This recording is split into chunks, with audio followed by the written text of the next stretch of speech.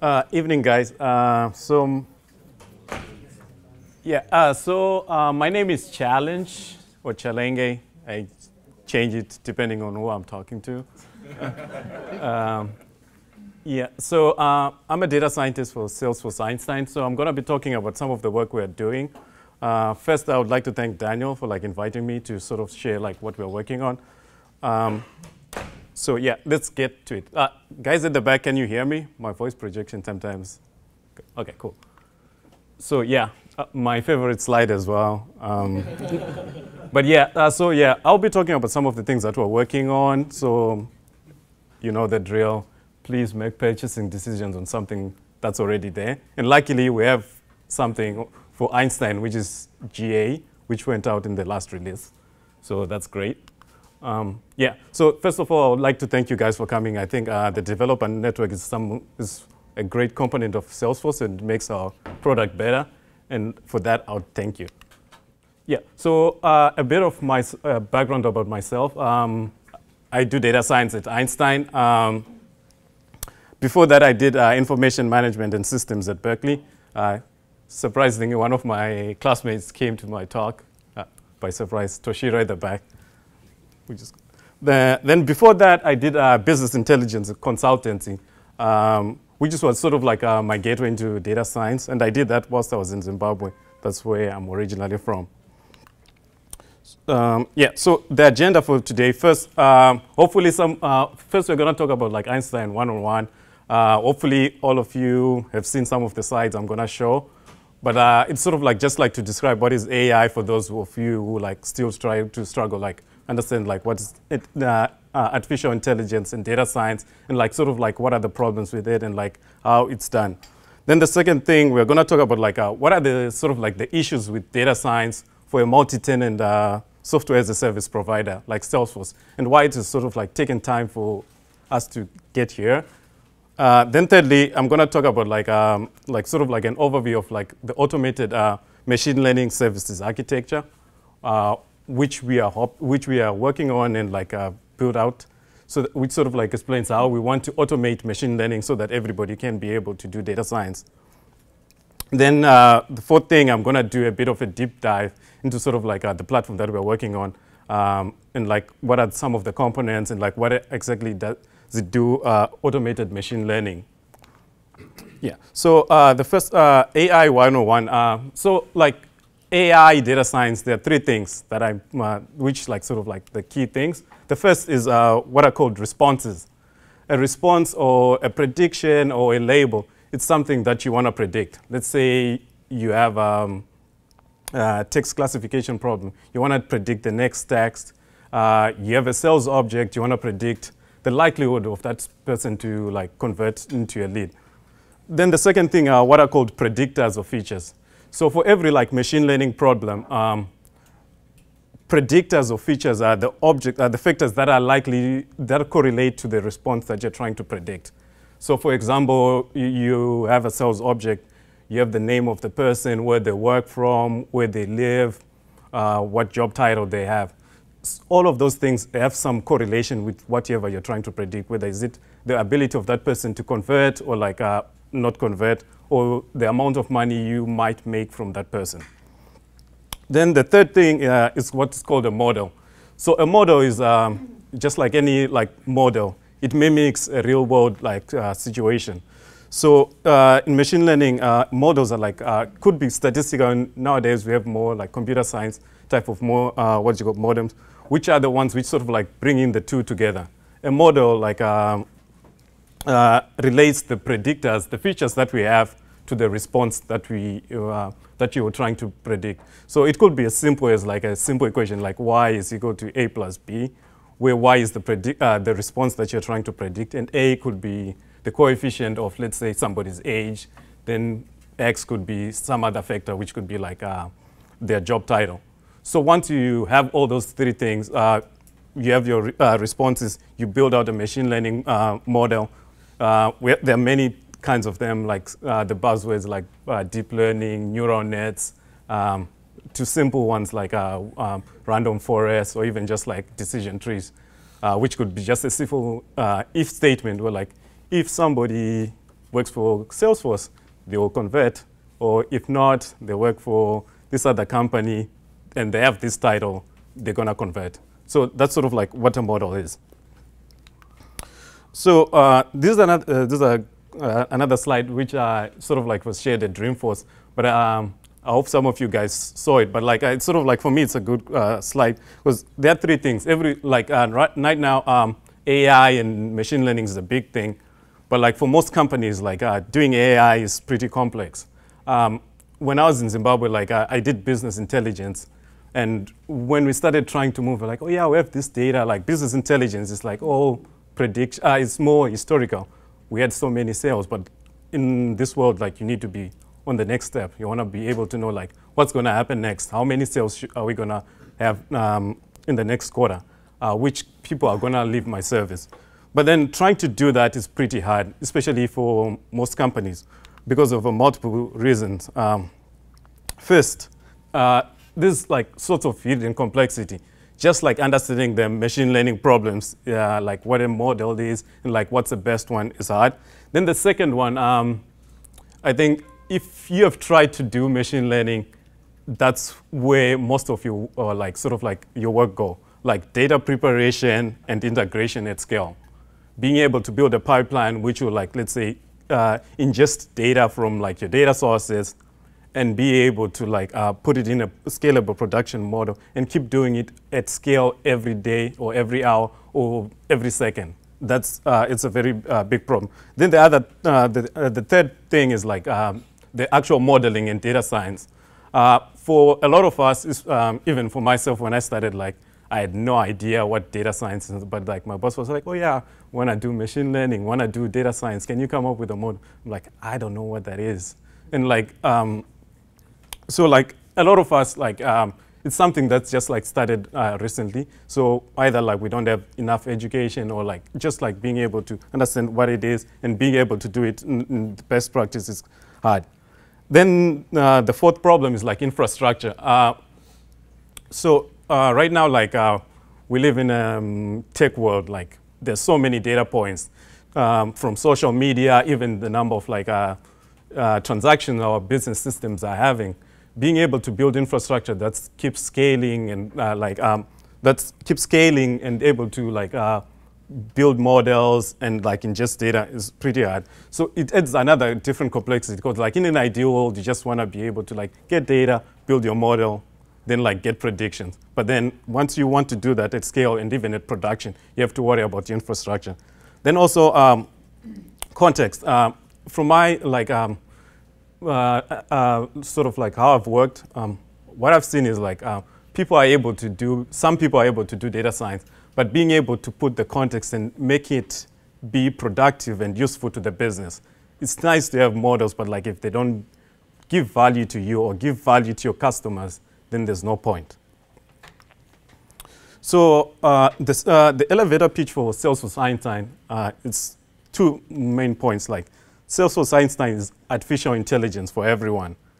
Um, it's uh, data science embedded into the Salesforce platform, and it's your personal data scientist. Then uh, the second uh, bullet, which for me like relates closely to me, is like enabling everybody to be able to build uh, AI-powered apps using clicks or code. We want to democratize data science. We don't. Uh, we want you to be able to do data science or be able to build products or uh, have the benefit of data science without a PhD in machine learning. So uh, what we are working on is trying to build uh, the world's smartest CRM. Hopefully some of you guys have seen this slide. Uh, we are trying, uh, as I said, like embedding artificial intelligence into every cloud or every product of Salesforce from Sales Cloud, Einstein, predictive lead scoring, uh, service cloud, recommendation, uh, cl case classification, then app cloud, which is like um, Heroku plus uh, prediction IO. Then all the, every cloud in Salesforce, so every product, uh, we're going to embed like uh, in artificial intelligence and data science. So like uh, over the past year, Salesforce has been doing a lot of like data science acquisitions from BeyondCore, Implisit, Tempo, Prediction IO, RelateIQ, and uh, EdgeSpring. Yeah. Oh, so yeah. The next thing uh, now I'm going to talk about like what are the issues for data science issues for machine uh, in a multi-tenant uh, environment.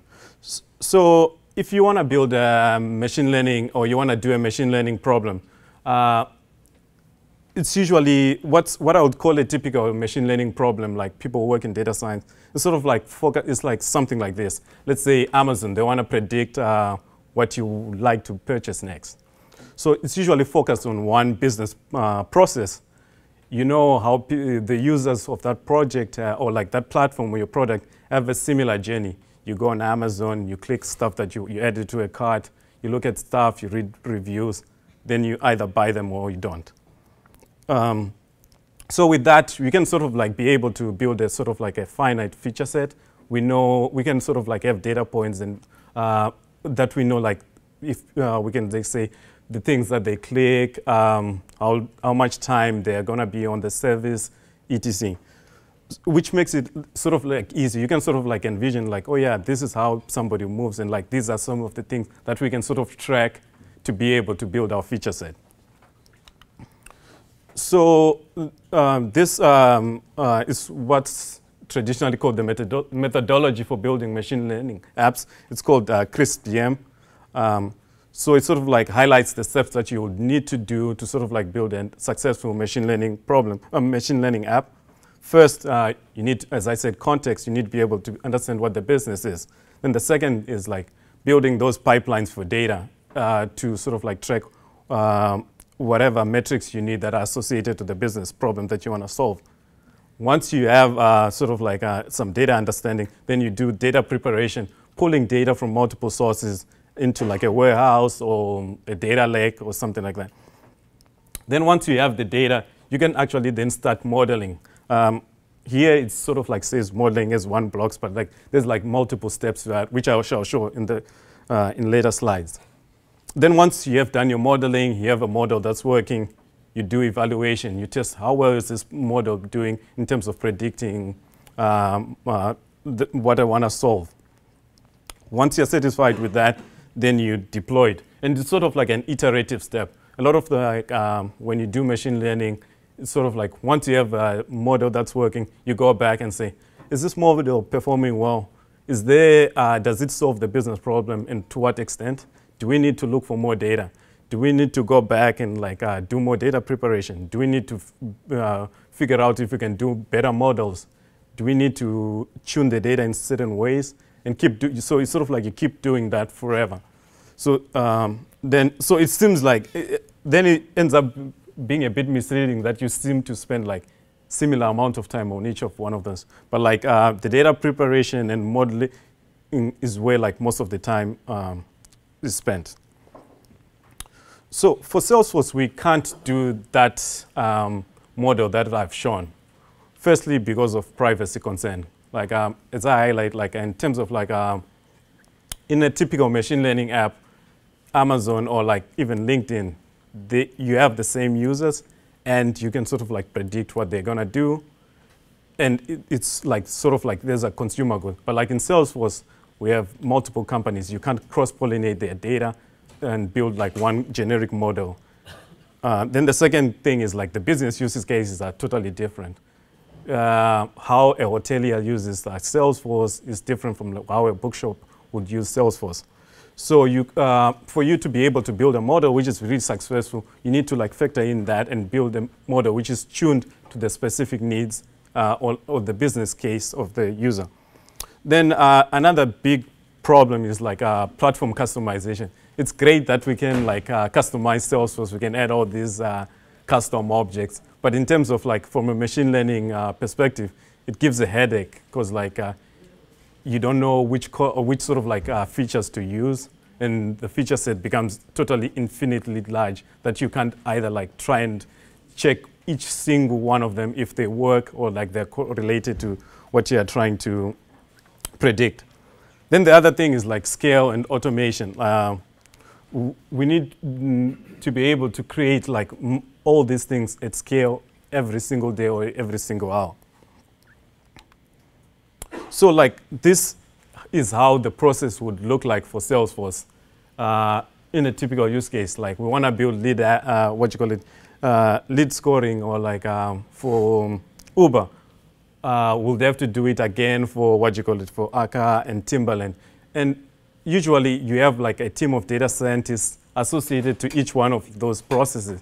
So even if we hired like all the data scientists in the world, we wouldn't be able to deliver all the, uh, what you call it, machine learning uh, functionality that we want to deliver in terms of like across all the products. So we had to like sort of like uh, rethink of like how can we do data science, uh, which is where we sort of like come with this, uh, what we call like meta data science, sort of like teaching computers how to do data science. So what we want, uh, it says like what we want to achieve, but like uh, what we've sort of been building towards is like, um, uh, given this data set, like uh, it's called, it's the Titanic data set, it's a uh, uh, famous like machine learning data set. Like, mm -hmm. so the Titanic data set is like, um, it, it, the problem is like, given, if you, with all the people who were on the Titanic, you'd want to predict who survived based on either where the cabin they were, their age and stuff like that. So it seems like a very simple problem. If you look at it like it's just like there are 13 uh, columns and like one response. Then there just, there's like enough data, which is like a thousand passengers, uh, 1,300 passengers who went there. So in terms of like a, what would, if you are like uh, new to machine learning, you'll be like, oh yeah, this is easy. I have very few uh, features that I can use. I have sufficiently enough, uh, sufficiently large number of data to train my model on. But then if you actually try and do it, you'll see that like it's pretty hard and you never, you, for you to get to a very successful model which is able to predict with reasonable accuracy, you go through a lot. But what we wanted to do is like, let's say any one of you guys wants, uh, is interested in machine learning, they're given this data set, either through like a CLI command and say, Einstein, give, point to this data, predict the column survives. We do some magic, and it spits out like uh, the prediction. So that's sort of like the vision and the product that you are working on. You just uh, either you feed in data, click on a column that you want to predict, we do some magic for you at the back end, and we give you predictions. So how we sort of like thought of it, uh, we have like sort of like two ways we've been doing about it.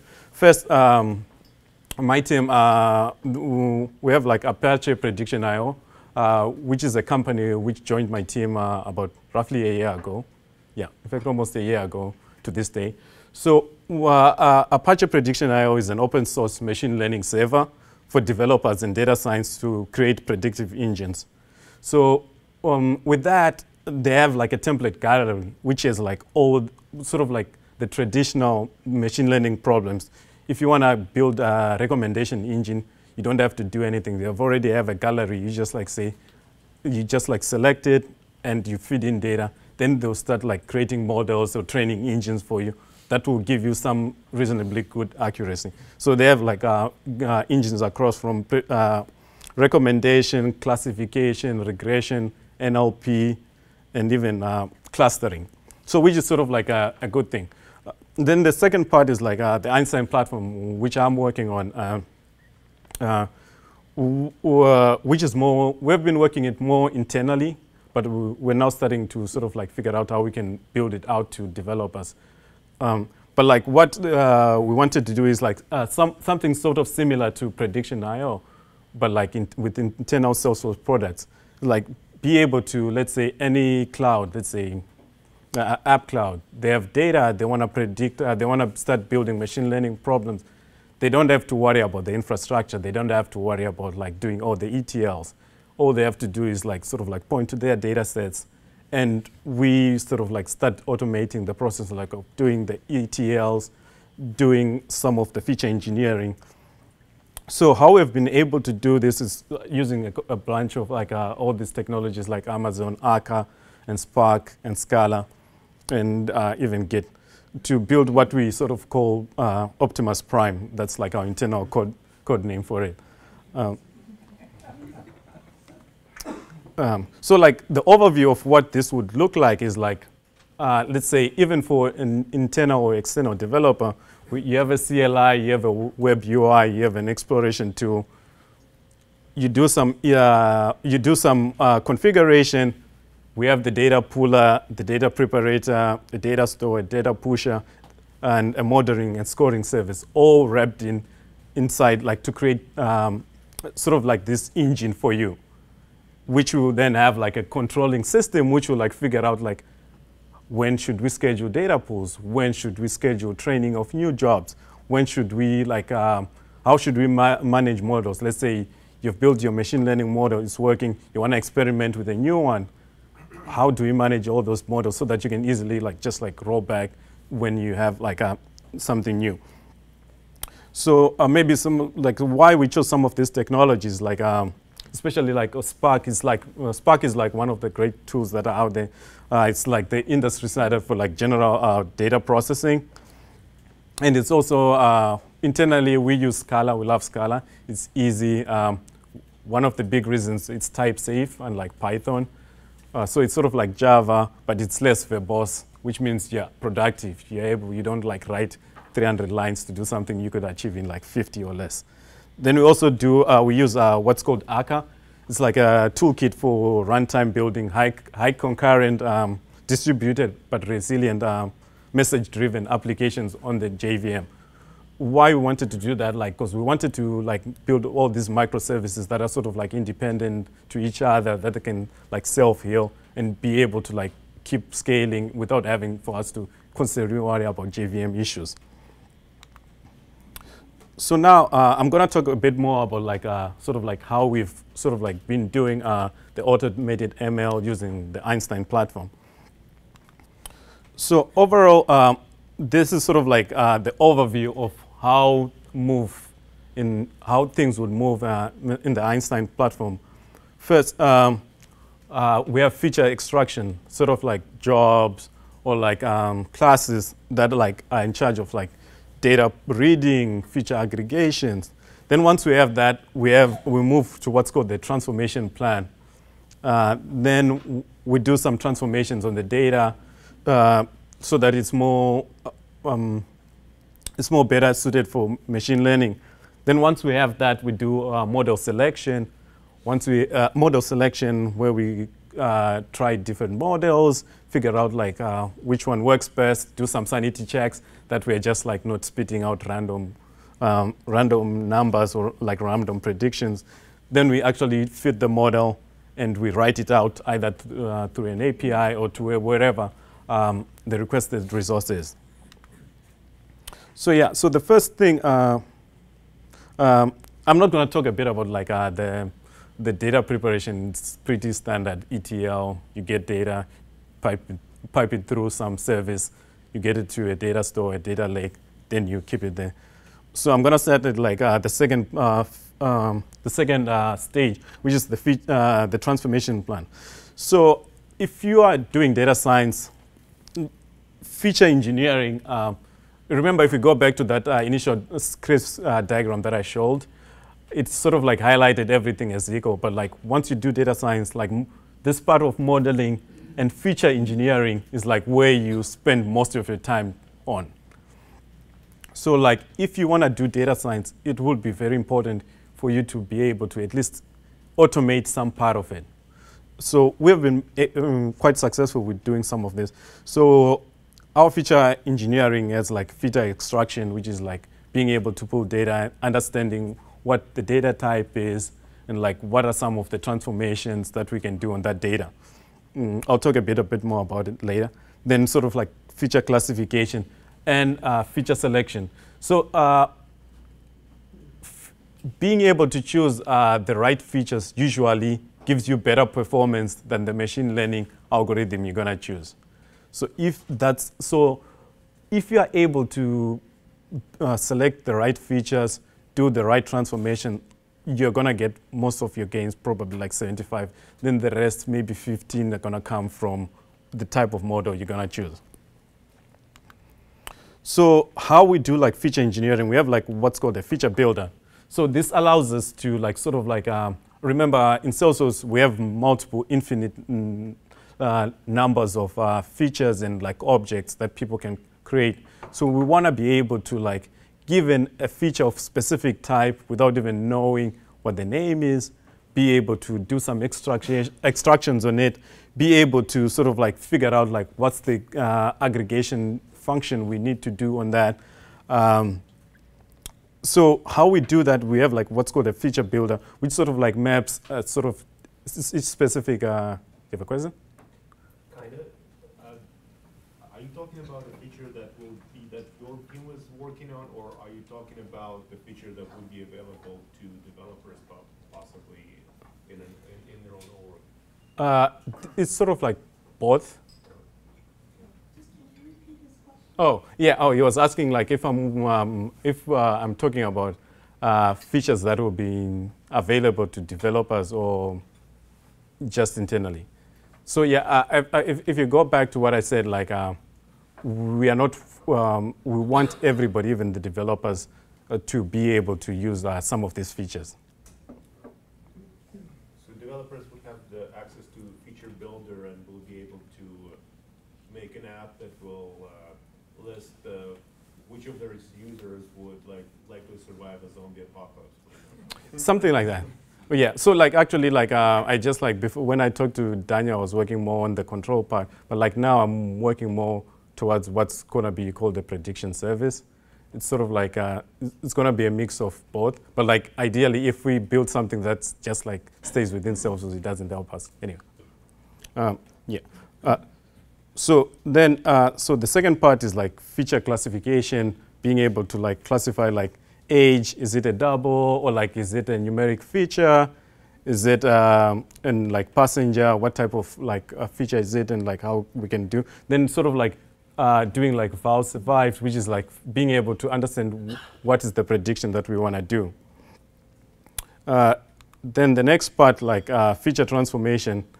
So remember I said like we call it internally Optimus Prime, primarily because of this reason, because like all it does is, most of what it does is just transformations, gets data, does some specific transformation. So um, we do some like uh, missing value computation. Let's say uh, a company has a set of leads. Some of them don't have specific um, attributes, let's say the age or like the company they are working on. We should be able to do, understand like uh, how do we fill in those missing values? Do we just dump them? Or do we, what, what are the smart ways of like handling them? Uh, also like there's something called binning, let's say for usually for numerical values like age. Uh, sometimes instead of just like using the age per se, you can group it and say people from 0 to 10, 20 to 25. Then uh, another thing is called interactions, being able to provide a way of saying you can combine features, somebody's age and their sex could be more predictive than just like each one of them. Uh, so yeah, so this is just like uh, showing like how we do that. It's sort of like a, mm, you get something, you can say age to transform using this sort of transformer. Uh, fill the mean using this sort of transformer. Uh, and we can do the same thing for like uh, smart binning and uh, uh, normalization. So no, uh, normalization is like usually you have a range of numbers. so instead of like, and you have outliers, probably you find somebody whose age is 100. So instead of just using it, you can sort of like do um, statistical normalization so that it's better predictive. Uh, then, yeah, this is more uh, uh, interaction as well, just like being allowing people to be able to do to combine things to be to predict to make pre better predictors. Then uh, model selection. So um, there's like this great like sort of like um, uh, cheat sheet and, uh, which can sort of like so remember like uh, we said given data we want to be able to and somebody says predict this so we needed to sort of like think of a way of figuring out like what type of problem is it? Because like uh, the type of problems are different. Um, we have like what's called classification, either putting somebody as either an A or in like, let's say, uh, just a normal use case, like uh, we have a bunch of salespeople, you can just classify as them. This will convert, this one will not. So we had to like sort of think of ways we can sort of like uh, look at the data and be able to understand like what are the typical uh, what you call it machine learning algorithms that you can apply to that. Then we also you then you can sort of like start thinking of like uh, what's the frequency of the event uh, that you're trying to predict, what's the data sample size, uh, distribution, then uh, what's called label leakage, where some of the thing, let's say somebody says we want to predict uh, if something will convert, but you also have another column which is closely related or like mirrors that exactly. So without being smart about it, you will use that column and it will be like very mm, closely related. Yeah. Well, this, this is your Titanic example. Yes. So what if you would have to take into account in at least that time period that it was always women and children went first? So how would your model account for that? Would the age bracketing somehow take care of that or? Uh, it's a combination of multiple things. So yeah, so the question was like, uh, given like the example Titanic model that we're talking about, like uh, um, most likely children and um, women would go first. So that would sort of be more more likely to be correlated with the response. I would like uh, this would sort of put in, in, So yeah, so I'm saying it's a combination of things. Well, um, how would you account for that? I mean, where would it where would it fall into the model? Yeah, so like uh, I can go back a bit. Um, oh yeah, actually it's um, right here in terms of label leakage. So there are multiple methods um, we can that we do in, we use internally, which say this feature has this uh, very close resemblance. Let's say close to if it's uh, from a statistical point of view, one-to-one -one correlation with uh, what you call it, with what you're trying to predict, then we should not use that feature because like all it's gonna do is just like add noise. Noise is just like you have, uh, you're adding features that don't really help you. So we have multiple techniques, which uh, if you want, I can like sort of like go through you like how we sort of like figure out like these sort of features uh, are not really useful for what we are trying to predict, which is what's called label leakage. I'm sorry, what's that called? Label leakage. Label leakage. Yeah. So yeah, then like, so now once we sort of like know what we're trying to predict, we can sort of like have a simple interface which says, which can sort of like take in whatever machine learning uh, algorithm. The goal being like, let's say in the future you build your own machine learning algorithm, which is amazing, and you don't want to use like the standard ones. You should be able to sort of like bring it into the platform and be able to apply it and use that instead of the, using the ones that we already provide. Sorry, so just to clarify, so you, you would, you would uh, you are hoping, what you are hoping to achieve is that the users would be, would be able to run the, your own algorithm, a finished algorithm and say, and given the same data set, say, yeah, which, who would survive on the Titanic?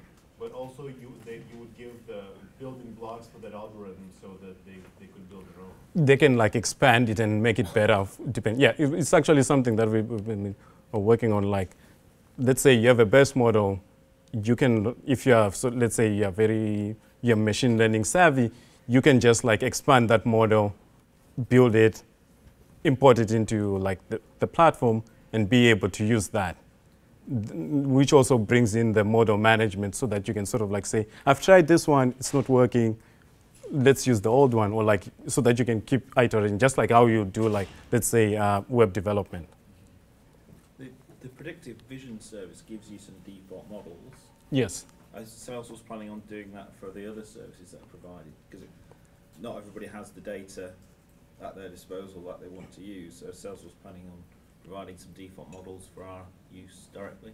So right now what's available is uh, what I said talked about like the prediction the PredictionIO one. That's like out there you can just like use it. There's like all the templates that you can use for almost every but this one was still, uh, what I can say is like, I, I can't say we're gonna give you all the models, but like it's sort of like we're st still trying to figure out like how, what's the best, in fact we've made some steps in figuring out what's the best way to provide at least the base start for you to begin AI and building your own models, and also enable you to like make changes or like build your own models and import them inside. So, is the AI only available for Lightning platform? Uh, that's a question that I have no idea. I don't know if which platform is gonna take that. Um, I can't. I can't. I haven't. Yeah. No. Uh, yes. Yeah. The question. Uh, the question is like, uh, is um, this gonna be available on Lightning or, or Classic? Uh, and my response is like, um, I I can't comment on that. I'm not sure. It's not available now. It's not available now. It's something that we're working on. and Should be. Okay, Yeah. yeah. Okay. If you made it available in Lightning only, it would help. I'm Taking that one to the board. Yeah. So, uh, so sort of like just like uh, reiterating the what you call it the sanity checking that you're talking about, as in like how what's the best way to sort of like ensure that whatever we have or whatever somebody puts in in their data set is not uh, is not going to corrupt the model or it's not going to be closely related and doesn't really help them.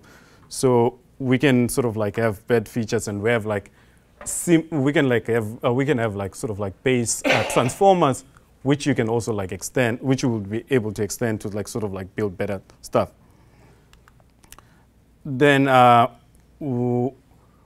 another step is like what's called uh, resampling, being able to let's say uh, a typical machine learning problem is like somebody wants to do AI. Let's say I want to predict um, people are gonna buy uh, a certain product, but you only had like out of a hundred, you only had like let's say two have bought it. So in, in terms of machine learning, for the uh, machine to learn like without enough data points, it's not gonna be really smart. So one of the things that we've been working on is like sort of like being automated, like resampling. Let's say instead of just having um, 100, mm, um, let's say 100 data points, it can easily predict. If say, let's say, so let's, uh, the example is like we have 100 data points and only one reflects your, what you call it, what uh, the success case. If your model predicts all of them wrong, yeah, the next 100 wrong, it's gonna work with like, it's gonna give you 99% accuracy. But like, if we train it and if we give it another 100 like uh, data points, it's also gonna keep predicting that for uh, uh, all of them are not gonna convert, but with 99% accuracy. But it doesn't really help you. What you want to be able to do is figure out like, tune your model, like tune your whatever workflow you build, so that it learns that one special case and be able to predict it uh, correctly. So you can sort of like uh, uh, through a config be able to say how do I um, my sampling rate is like ensure that every time we train a model, 10% of them are success or 10 of them are true, so that it, be, uh, it becomes able to not just predict all of them false. Yeah, the question. I was just thinking in that example, what if you took it during Christmas, you know, the holidays? People are gonna buy different things than if you take it, you know, in January, which might even be different than, you know, February. So how is your model going to take that into account? Yeah, so uh, this is where like uh, resampling and like uh, multiple techniques like figuring out seasonality and like saying, it's, uh, figuring season, seas- uh, se- seasonal trends, as in like this product is usually bought between this time. So if at this time, maybe I shouldn't just like predict all of them true or like that. So, but there are multiple ways and multiple techniques for doing that. Would you have access to those as a, in this, you know, in this feature of Salesforce, you be able to, you know, kind of like do that? I- w- I, we, I don't think it'll be useful if we gave something that doesn't do that. Or like if we, even for our internal uses, we can't just, we have to be able to smartly be able to understand the data, resample it, or clean it up, transform it in ways that are necessary for the response. Uh, Let's say if you have two competitors who will use this algorithm, and they have the same, the- access to the same data, uh, how will that make a difference let's say uh, you have two um, uh, who are selling phones, let's say Apple and uh, Android, and then they have access to the same uh, set of data, then they're gonna build their marketing based on the on their prediction that's based on your algorithm. How that will work? Oh, so the question was like, let's say we have two companies which are competing and they both have uh, access to the same, let's say, machine learning capabilities that we provide. Uh, how is that going to be useful? Well, uh, so I think uh, that's a tough one. but uh, how I would see it is like, I think in an ideal world, we want to be able to help our customers have, if they are in part of Salesforce, family, we want to give them the necessary tools for them to succeed, understand their customers, and be able to figure out who's going to give provide value for them. Um, yeah, I think we have multiple competing customers already in Salesforce, and they use it in different ways. But uh, as you said, the, the data is important. The Yeah. models are important, but the data is. Yeah, And in multi-tenant, you can't share that. we ca- we don't. Sh- yeah, that's So the responsibility falls to each Customer. customer to own the data. Yeah. And kind of the question arises you've got on this slide is that the more data, the better for it to sample. How much is a good level of data that's needed, in your opinion? Mm, I wouldn't. Uh, so the question is like, um, uh, with more data, usually it becomes a better model. Like, uh, what would be an ideal amount of data to give? So I don't think you can always give a specific number and say a million data points are fine. Usually, the more data, the better. But it's more important to have quality data than just like all mm, whatever data points. Um, so being able to have data which sort of like closely mirrors like the real world situation that you're uh, sort of like trying to predict is much better than having too much data. And, and the vision is that data would be from your org. It wouldn't will, be yeah, you, coming you yeah, else we don't cross pollinate data. You'll be able to use your own data. Is there any idea that there might be a mechanism where there could be a shared data pool? It would seem to me that all of us have certain data that we wouldn't really care, we could share, Yeah. Right? And for access to the pool, we'd share. Is anybody working on that? Uh, yeah, so the question is like, uh, it would seem more advantageous uh, for like to build uh, a common shared pool of data. Uh, so what I've heard is like uh, there have been people have talked about it, but at this the point in time right now, I don't, I'm not sure. I can say there are people working on trying to figure out how to um, create a pool, but the the position right now is like each org who have it, who uh, will be able to build models using their own data. Is there a way to measure the model effectiveness, so to understand? Yes, which is what we're gonna go next. Yeah. Uh, w- uh, First, I just wanted to say, uh, what the gentleman was talking about, about uh, just, uh, I- my, my understanding is that data.com is kind of similar, right? I, I guess you might be able to work from, from there, in terms of like sharing the data pools that everybody, uh, like, doesn't mind sharing. But, um, my question is, I just to, just to understand what you were talking about earlier, just, I just wanted to make sure that I understand correctly. You said that a, a model that is accurate ninety-nine percent of the time is not necessarily useful. And my understanding is you're talking about a case where you're trying to predict the exception, right? Yes, but like not, but like not just. Uh, so you have to think of it in terms of like, yes, it's ninety nine percent for what it has seen so far. Going forward, it might not keep being ninety nine percent because like it was trained on data which was which had only one exception. So maybe like let's say after five hundred, everything starts being positive. Your model will still be predicting them false, which won't help you. So yeah, then this. Uh, um, so going forward, like uh, there's stuff. Uh, this is more like hyperparameter tuning, but like uh, each model is sort of like uh, things that it doesn't learn. Like a typical case is like in what's called random forest. So random forest is like uh, imagine a decision tree, but building hundreds of them. So let's say if you build more trees, you're most likely going to be able to build a better model. So should like sort of like have ways of you to be able to say, I, I want to train 10, 10 trees. I want to tune my data or like my model using specific nodes. So then the final part is like once you have everything worked, you have pulled data, you have done your feature engineering, you have Uh, quick question, going back to the previous slide. Yeah. Uh, so the hyperparameter tuning. Yeah. Is that something the developers would have access to do it, or is this something that Salesforce?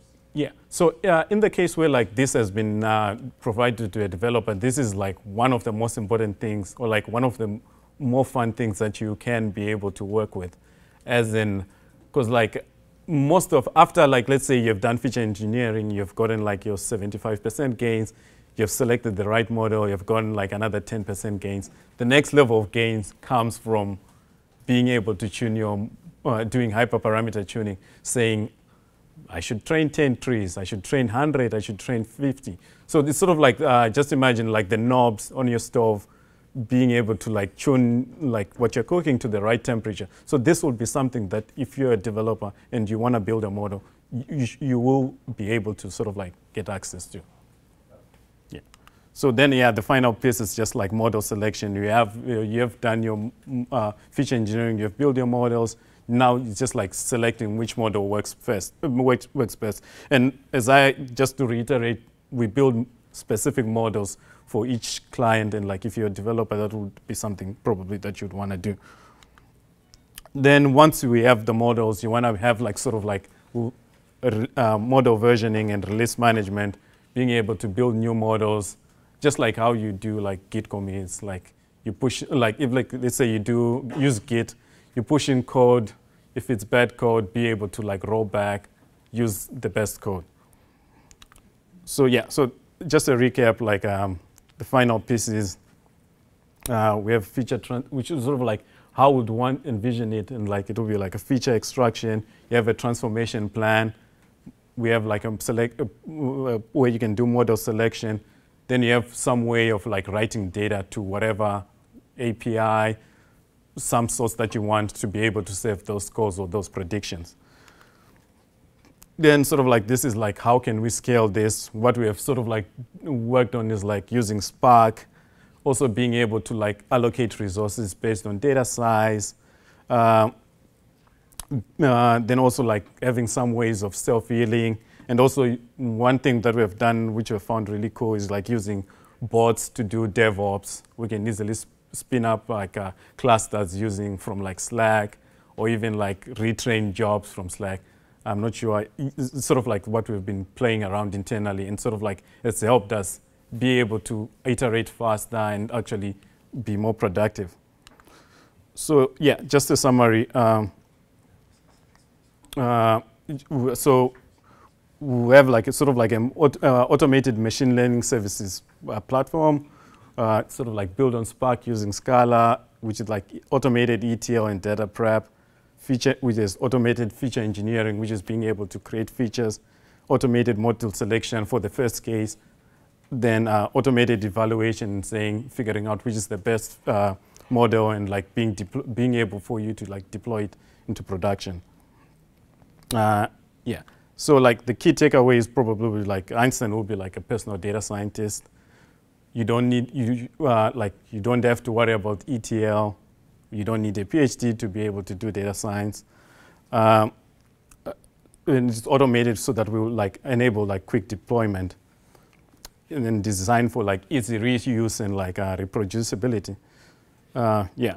So then, yeah, um, for those of you are curious, there's a new like uh, machine learning app, um, Trailhead, where you can build uh, the predictive vision service. Uh, uh, it's a fun course. Uh, I haven't done it myself. I just like went through it and it seems really cool.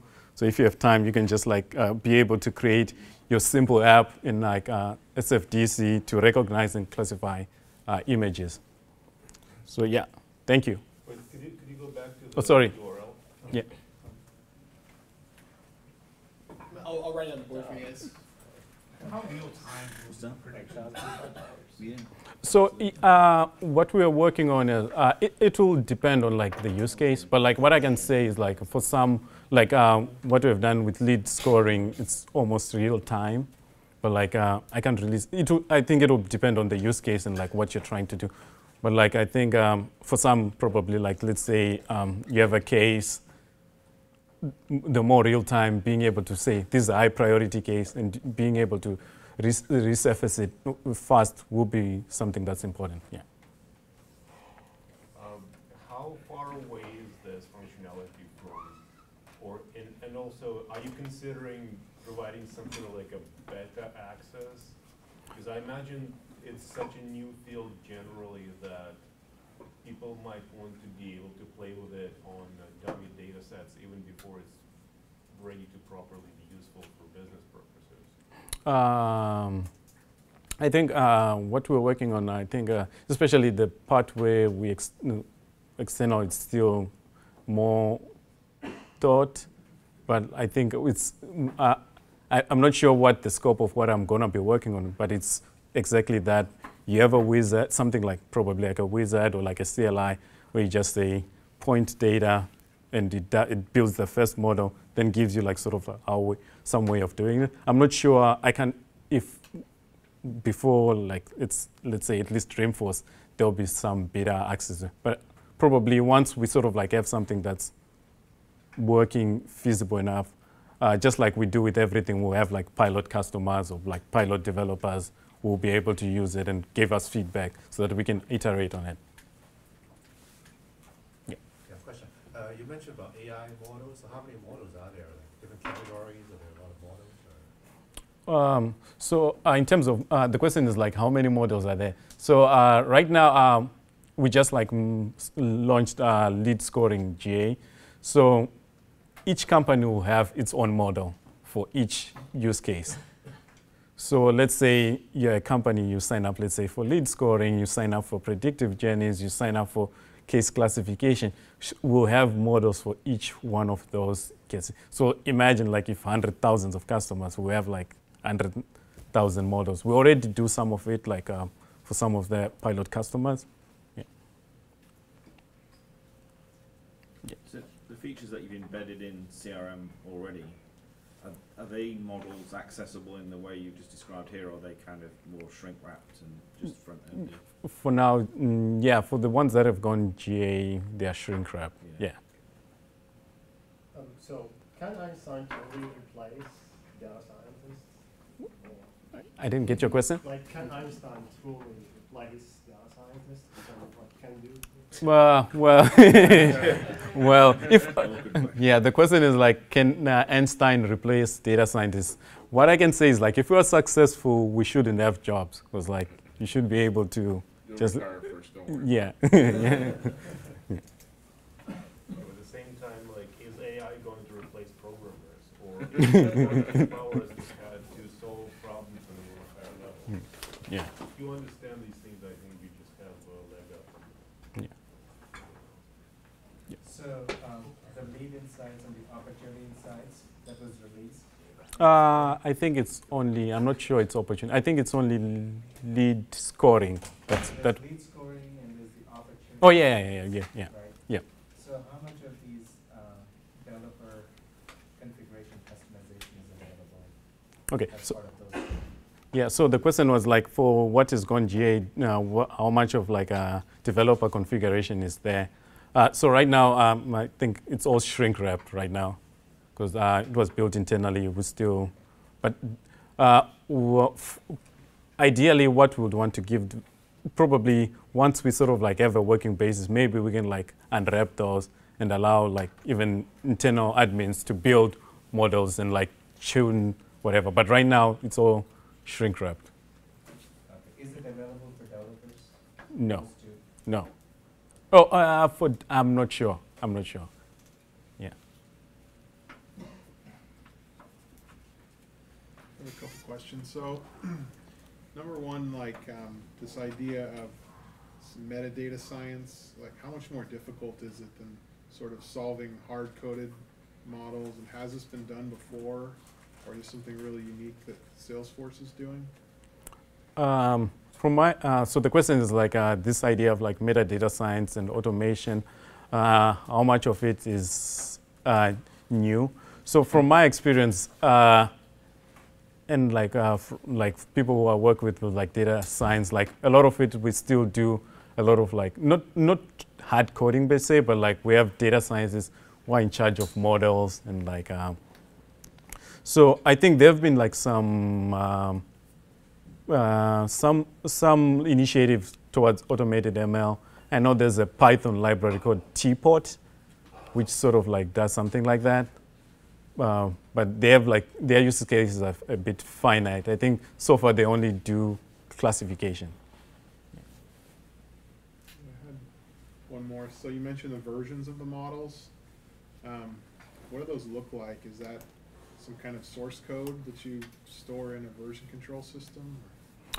Um, it could be something like that. Yeah, but yeah, it I, ideally like uh, when um, it would be some source code or like some generated source code, which is compiled and like stored somewhere. Yeah. All right. All right. I think that's it. Questions? Thank- Thank you.